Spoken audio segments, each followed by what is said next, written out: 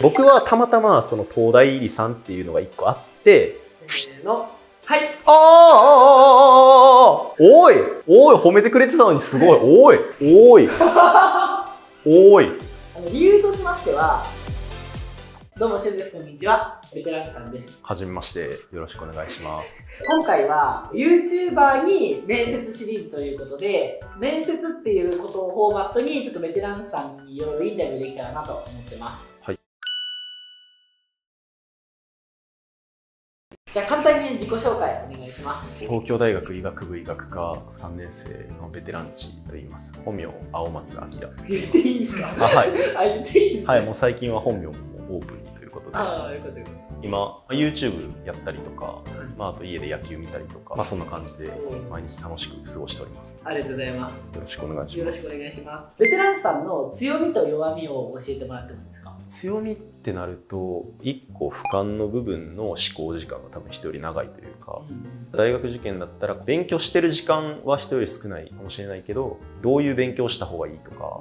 今自分はこういう状態だからこういうところが足りてないみたいな思考が多分人よりできるっていうのがあって、まあ、だから YouTube だったらそれはキャラ作り方であったりとかなんとなくの自己プロデュースのこう、うん。まあ、ブランディングとかも結構そういうジャンルになるじゃないですか。チャンネルとしてのなんかこう方向性とかうん。SNS 全体の雰囲気作りみたいなそういうのはまあ意識してるっていうか。それは他の例えばチャンネルであったりとか他の企業に対しても俯瞰して考える力があるってことですか？そうっすね。それこそまあ株式会社ダイヤリに入ったら仕事として他の会社の案件とかをさばいてみたいなことになると思うんですけど、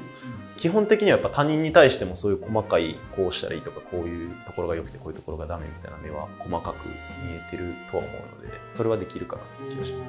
す。すごい。逆に弱みは何ですか？思考の量多い人結構共通かなとも思うんですけどやっぱりどうしてもその自分が何かやるっていうことに対して踏み切りづらいっていうかこれ本当に面白いのかなとかこれやって失敗せえへんのかなみたいなのがあって単純に手を動かす時間が短かったりとか今 YouTube でやってるのだったら僕今完全にもう全部一人でやってるんですけどそれは結構自分が考えてやりたいっていうのが強いから一人でしかできなくてそうするとまあ動画の本数もどうしても多くはならないとかっていうまあ単純なその稼働量というかが少ないっていうのはまあどうにかしていきたいかなっていうふうに。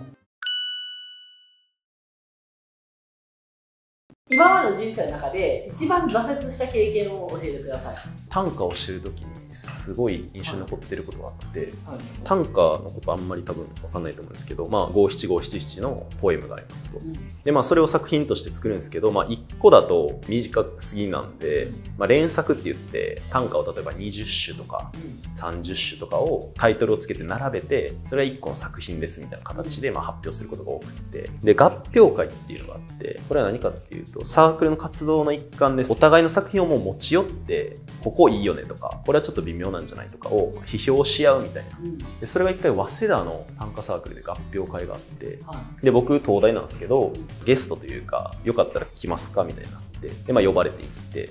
僕すごい短歌好きで自分がいろんな短歌をすごいこういっぱい読んでこれだっていうバーンっていう30首自分の中で作ったつもりだったんですけど、まあ、それがその合評会に行って悪いって言われるのかいいって言われるのかなと思ってまあ行くじゃないですか。シーンってなったんですよ30分ぐらい結構地獄みたいな雰囲気が流れて短歌界隈の中では結構スターみたいな感じのへ同い年ぐらいの人が「これ私わかんないな」みたいななんでこんな短歌で作り物を書いてるのかよくわからないみたいなことを言わないでおこうと思ったんだけどちょっとやっぱ言うわみたいな。言われて、まあ、自分で言うのもなんですけど結構難しいことをすごいやってたんですよ。でもそれって伝わんないんだなっていうのをすごいここで感じてその日にでそれが結構その後の活動というか今 Twitter とか YouTube とかでもどうやって分かりやすくそうですね。結構僕趣味としては人とは違うものの方が好きなタイプというかこういうそうですね。細い方に行きたいタイプなんだけどでもそれだと他人に向けて何かを発信していくとか伝えてそれこそお金もらうとかっていうことにはできないんだなっていうのがすごい感じてそこからそう距離感というか大衆感覚みたいなそうですね。取り入れながらやりたいことをやっていくみたいなそうですね。で、それも、だから、ただただ寄せるんじゃなくて、例えばですけど、難しいことやりながらでも、それを読み解きやすくデザインするとか、本質的にはその高所なことやってても、それを分かりやすくするとか、まあ、いろんなアプローチがあるというか、っていうのが、もう、2、3年で意識してることになったかなっていう、その挫折経験っていう感じですか。ちなみに一人でやっていきたいタイプなのかチームでやっていきたいタイプなのか。でチームでやっていきたいとしたらどういう人と一緒に働きたいのか聞いていいですか？それもね結構最近悩んでてなんか YouTube は完全に一人でやってたんですけど、最近結構更新頻度も落ちてきちゃったりとかしてて、で、もう一個来週チャンネルっていう、ナダン同級生と3人でやってるチャンネルがあって、それは結構調子いいというか、企画もポンポン出て回ってる感じで、最近あの、16タイプ別性格診断ってあるじゃないですか、はい、あれを YouTuber のキムハゲさんっていう人に勧められて。キムハゲさん勧められたんだ。なんか韓国では日本よりすごい流行ってるらしくてあの16タイプ診断って。すごいこう信頼性高いみたいな、うんうん、で僕もやったことはあったんですけど言われてもう一回やったらその EPSP っていうのが出て、はい、で人と会うことでエネルギーをもらってやる気を出すっていうのがいいなんですけど、うんそれでその振り返ってみたら YouTube 最初にやりだした時とかもその動画を一人で制作してたんですけど YouTube のネタになるような話とかを当時コロナでこう Zoom で友達とずっと話してたりとか大学受験の時もその投資に一緒に行って勉強したりとかっていうのすごいしててだから結構こだわりが強いんで僕は、だから一人でやる方が向いてるのかなと思って一人でやるようにしてたんですけどもしかしたらなんかチームの方がいいのかなっていうのを最近考えてるっていう感じです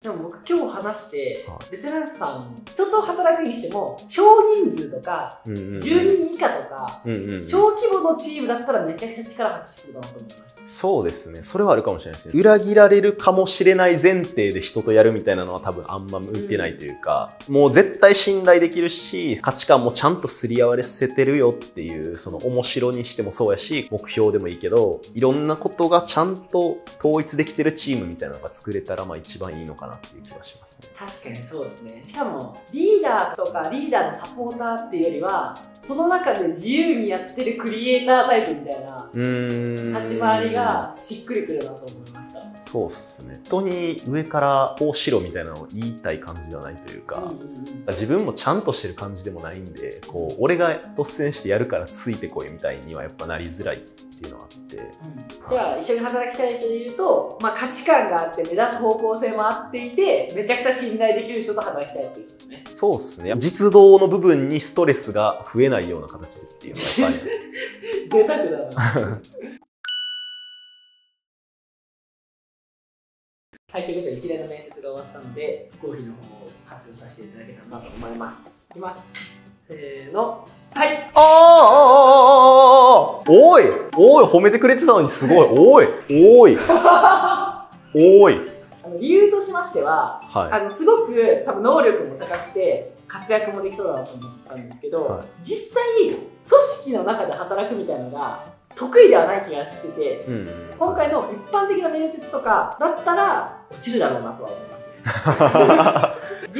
際、はい、ベテランさんみたいなその個性があって能力もあってっていう人がそれこそ僕らぐらいの規模とかスタートアップ企業とかあと本当に多様性とかを本当の意味で重要視してる生きてる企業は絶対採用したいと思うしもう100%採用されてるんですけど一般的な大企業とかは絶対落としそう。だ それはでもすごいやっぱ思って俺のチャンネルの視聴者とか俺に共感してるやつというか、うん、まあ俺みたいなところがあるんやけどそれこそ社会にうまく適合できてないみたいなやつがすごいやっぱいっぱいいるなっていうのは感じて、で、僕はたまたまその東大入りさんっていうのが一個あって、で、YouTube を始めてるっていうのがあるから、こう、なんとかなってるけど、うん、それでも就職しないといけないけど自分に合ったところがないみたいな感じの声なき声みたいなすごいやっぱ感じてるというか そうですね。そういう人たちに輝いてほしいなっていう気持ちはだから僕はめっちゃあるっす、うん、しそういう人たちの星になってますね今ということで、ベテランさんの今後にかけていきたいということで、本日は貴重なお時間をいただいてありがとうございました。ありがとうございました。ベテランさんの動画めっちゃ面白いので、下の概要欄から見てください。僕みたいな視聴者の皆さん頑張ってください。応援してます。頑張ってください。春大リと就活会議の公式 LINE では内定者が教える今月の動き方や面接で絶対聞かれる質問集をお届けしています概要欄をぜひチェックしてみてくださいご視聴いただきありがとうございました